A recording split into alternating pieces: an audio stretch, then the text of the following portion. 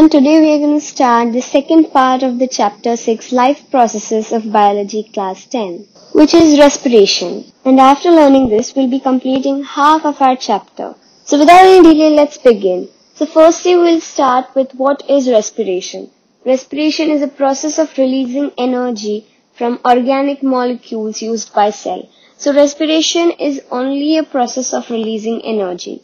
So from where does this energy come? It comes from the food we eat, basically the glucose. That glucose are broken down and energy is released in the form of ATP to perform several functions of the cell and tissues in our body. So we have an activity to prove that CO2 is released when we uh, exhale the air out. So that is explained in another separate video and now we'll not be doing that. Let's first talk about the products that are released when we respire. Mostly and the main thing that is energy is released and then the byproducts are like CO2 and H2O. That means carbon dioxide and water is released. And this is the case of aerobic respiration where respiration happens in proper and sufficient amount of oxygen. Like from the previous classes you have been studying that there are two types of respiration, aerobic respiration and anaerobic respiration. Aerobic respiration happens in the presence of oxygen and anaerobic respiration happens in the absence of oxygen. And so you have learned about its formulas and all that stuff. But this year we have another case to study. So we will study all these three types of uh, respirations in a table format or in a chart format basically. So firstly glucose which is a 6 carbon molecule in the cytoplasm of every cell is broken into pyruvate which is a 3 carbon molecule and some amount of energy is released, a very little amount. And then this pyruvate further breaks into any three conditions. I mean, out of these three conditions, it can be broken into any one. So the three conditions are, firstly, absence of oxygen. There is no oxygen at all. This case you can consider happening in yeast. So at that time, products are released as ethanol, CO2 and energy. And ethanol here is a two carbon molecule. Then the second case can occur when there is lack of oxygen. That means there's insufficient amount of oxygen that cell need. Sometimes when we are participating in some competition, say running competition for example, we breathe faster, right? Faster and faster when we stop. And that time we have muscle cramps and all that. That's because our muscle cells do not get enough oxygen to respire properly. And that condition is formed when there is lack of oxygen and here the products are released as lactic acid which is a 3 carbon molecule and energy. Energy released in both these cases 1 and 2 is very less compared to the third case. Third case occurs in the presence of oxygen that means there's sufficient amount of oxygen that a cell needs. And this generally occurs in the mitochondria as we know mitochondria is a powerhouse of the cell. So their energy is made. And the product of this type of respiration are CO2, water and energy and in this case we get so much of energy which generally occurs in all the cells in our body. This energy which is released during the cellular respiration is immediately synthesized and stored as ATP molecules which acts as a fuel for all the other activities that happen in a cell. So this ATP is a energy currency for most of the cellular processes that happens. So now let's talk about breathing in plants. So as we had discussed some part of this in the nutrition portion that plants, there are some minute structures present all over the leaf of the plant which are called as stomata and these are enclosed by guard cells and these guard cells are responsible for regulating the size of stomata depending on the osmotic pressure. So we're not going to study in detail what happens. Just understand that when stomata opens, CO2 enters in and because the concentration of CO2 is less inside the stomata, by normal diffusion CO2 enters in and H2O and O2 exist. That means water and oxygen exist out, I mean exit out by diffusion and osmosis respectively and so this is the way plants keep on taking in carbon dioxide and breathing out oxygen and whatever it's needed for them. During the night, there is no photosynthesis happening, so plants exhale CO2 sometimes, that activity is going on. But during the day, photosynthesis is going on and plants need CO2, so the major gas that is released is oxygen. And now let's talk about breathing in animals and basically here we'll be talking about terrestrial animals and aquatic animals also. Terrestrial animals breathe the normal oxygen that is available in the environmental air whereas aquatic animals breathe the oxygen that is dissolved in water and as the content of oxygen is large and the oxygen is more fresh in number in the normal air whereas the oxygen is less in water than in air so fishes breathe much faster and much frequently than other terrestrial animals do. Then in terrestrial animals and as well as in aquatic animals, there are different organs which are responsible for doing different functions in different animals. In case of aquatic animals, they take in water through mouth and they release the air from their gills and during this time itself the oxygen is dissolved in the blood by lamellae. In terrestrial organisms, all organs are responsible for increasing in the surface area for absorption, absorption of more and more oxygen and all the respiratory surfaces are very thin and very delicate. So now finally let's talk about breathing, I mean respiration in humans. And naturally, the first part of respiration is breathing. That means inhaling the air inside so that oxygen goes in our lungs. And so basically, there are two types of respiration happening. One is mechanical respiration that involves just breathing, inhalation and exhalation. And another one is about cellular respiration that involves exchange of gases inside our body.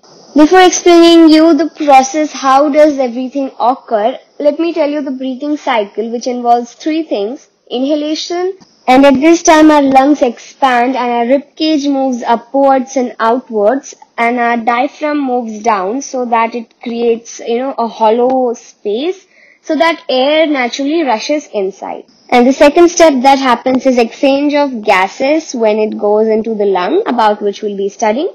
And the third step that occurs is exhalation. At this time diaphragm moves up the rib cage moves inwards and downwards and the lungs kind of come closer because of this and so air moves out. So here is a chart that is made for you to understand the movement of oxygen and CO2 inside and outside. So first we'll read the chart once and then we'll understand it by the diagram. So firstly the oxygen rich air from the environment enters into our nasal cavity that means from nose we breathe in the air then it goes to pharynx, then it moves to trachea, then it splits into bronchi, bronchioles and alveoli and in this alveoli exchange of gases take place. From this after exchange of gases has taken place, it again uh, the carbon dioxide rich air again moves into bronchioles, bronchi, trachea, pharynx, the nasal cavity and we exhale out the CO2 rich air. So many of you might be confused but no need to be. We will see this process in detail. How does everything take place now? So now we have this diagram of lungs, uh, basically our respiratory system here. And I'll be explaining you everything based on this diagram. So we breathe in the oxygen rich air from our nose and in our nose or in our nasal cavity, there are hair-like structures which are called nostrils and there is mucus which filters the air and it prevents the entrance of dust particles to enter into our lungs. So once the air is passed by the nasal cavity, it enters the pharynx region as you can see here and then it enters this tube-like structure which is known as trachea and this trachea has cartilaginous rings around it and these rings they keep the balance of the trachea. They make sure that trachea does not collapse as uh, when you inflate a balloon and then when you take in the air again that you had let in the balloon, the balloon, you know, it squeezes. So this same way here, the cartilaginous rings, they prevent the trachea from, you know, breaking or bending or squeezing, you say. Then after the air is passed by trachea, this trachea divides into two parts which are known as bronchs and which is known as bronchus.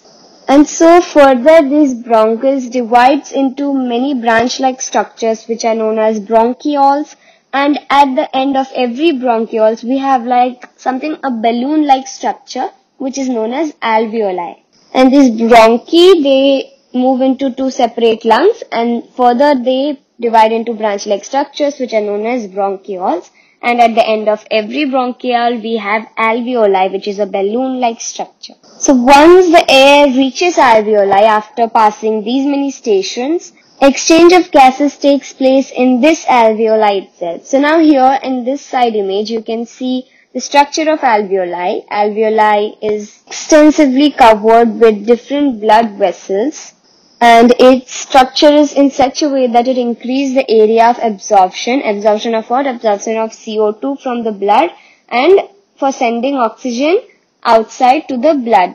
Okay, so now here basically you can see a wider image of one alveoli that we have seen. So what exactly happens is that there is bloodstream. I mean, alveoli are covered with blood vessels. So this is a one vessel that we have taken to show here. And now oxygen rich blood which is coming in or which is now there in alveoli moves into this bloodstream by simple diffusion and CO2 which is present in our blood which is brought by the blood from every part of our body enters in the alveoli by osmosis from the blood. I mean from the diffusion from the blood. So at the same time oxygen moves from alveoli to the bloodstream and CO2 comes into the alveoli from the bloodstream. And then once all the oxygen is there in the blood and all the CO2 has come into alveoli, then we exhale out all the CO2. I mean from the same process, then this CO2 moves back in from the alveoli into bronchioles, then to bronchus, then to trachea, then to pharynx, then to nasal cavity and finally it's released. So okay, now we understood the process of respiration, but how is this oxygen going to be transported in every part of the cell or I mean every cell how every cell is going to receive it. So of course by the blood as we said. So which pigment or like how it's simply going to float in the blood? No. In the blood there's a pigment called hemoglobin in the RBC red blood cells and so this pigment hemoglobin carries all the oxygen in them and it has a very high affinity of oxygen. And so it travels along the body and whatever cells need oxygen this hemoglobin again gives the oxygen to them. And at the same time when cells use oxygen again it gains carbon dioxide. That means the carbon dioxide is again dissolved in the blood. And it's again brought into the alveoli I mean near the alveoli the blood streams near alveoli. And then again the process of respiration continues. So now class simply like that is boring. So I'll tell you a fact. If oxygen would have traveled from lungs to the toes by simple diffusion in our body, then it would have taken three years to reach. Can you literally imagine if the oxygen would have traveled from lungs to toes in our body by diffusion, it would have taken three years. And of course, we'll not be able to live. So with this we come to an end of the topic respiration and I hope you understood all the concepts very clearly. So we'll meet you with our next topic in the next video. Thank you.